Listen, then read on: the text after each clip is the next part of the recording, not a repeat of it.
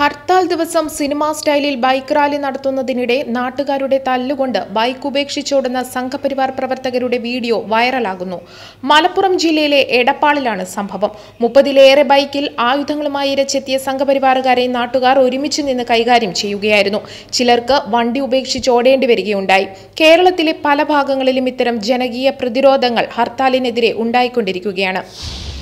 ശബരിമല കർമ്മസമിതിയുടെ ഹർത്താലിൽ അക്രമം നടത്തിയവരെ പിടികൂടാൻ operation broken വിൻഡോയുമായി police. പ്രത്യേക ദൗത്യ സംഘത്തെ നിയോഗിച്ച് വ്യാപകമായ തിരച്ചിൽ നടത്തിയാണ് പോലീസ് പ്രതികളെ പിടികൂടുന്നത്. സംസ്ഥാനത്തിന്റെ വിവിധ ഭാഗങ്ങളിൽ നടന്ന അക്രമ സംഭവങ്ങളിൽ ഇതുവരെ ഇരുന്നൂറ്റി പേരെ അറസ്റ്റ് ചെയ്തു. മുന്നൂറ്റി പേർ കരുതൽ തടങ്കലിലാണ്. ഹർത്താൽ അക്രമങ്ങളിൽ ഇനിയും അറസ്റ്റ് തുടരുമെന്ന് പോലീസ് അറിയിച്ചു. ഹർത്താലിന്റെ മറവിൽ പരക്കെ അക്രമം നടന്നതോടെ ഒരു വിട്ടുവീഴ്ചയുമില്ലാതെ അക്രമികളെ പിടികൂടാനാണ് പോലീസിന്റെ തീരുമാനം. ശബരിമല കർമ്മസമിതി പ്രഖ്യാപിച്ച ഹർത്താലിനെ തുടർന്ന് സംസ്ഥാനത്ത് അക്രമം വ്യാപകമാകുന്നു. തൃശൂർ വാടനാപ്പള്ളിയിൽ മൂന്ന് ബി ജെ പി പ്രവർത്തകർക്ക് കുത്തേറ്റു.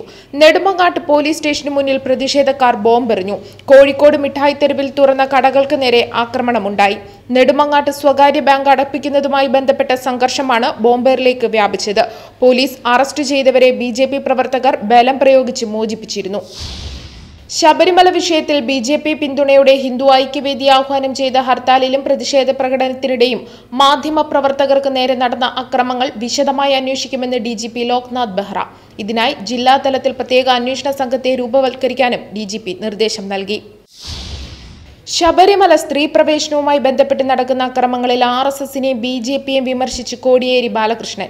ശബരിമലയിൽ രണ്ട് യുവതികൾ പ്രവേശിച്ചതോടുകൂടി ബി ജെ പി നേതൃത്വം പരിഭ്രാന്തരും ഇളിഭ്യരുമായി മാറിയെന്ന് കോടിയേരി പരിഹസിച്ചു.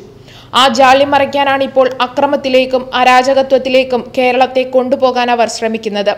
ഇത് കേരളം അനുവദിക്കാൻ പോകുന്നില്ലെന്നും കോടിയേരി കൂട്ടിച്ചേർത്തു. യുവതി പ്രവേശനം ആചാരലംഘനമല്ലെന്നും അദ്ദേഹം പറഞ്ഞു.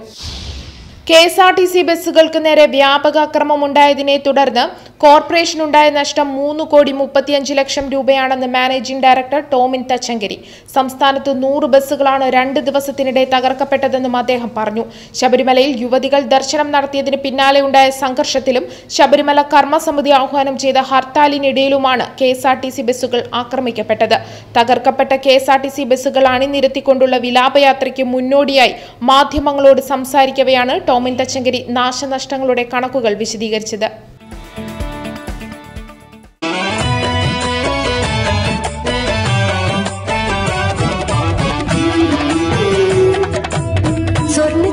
ചരിത്രത്തിന്റെ നൂറ്റിയൊന്ന് വർഷങ്ങൾ. ചുങ്കത്ത് ജ്വല്ലറി.